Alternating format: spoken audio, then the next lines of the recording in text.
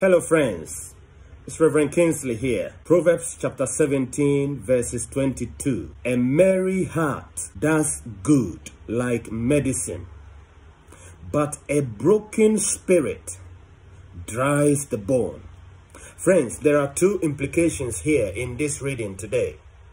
The first implication is that when you are always happy, when you always appreciate what God has given to you, when you appreciate your family, your friends, and your children, that is like medicine to your body and it gives you good health.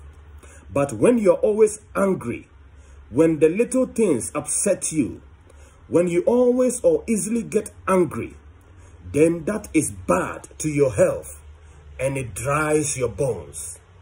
I shall see you tomorrow. Shalom. Peace.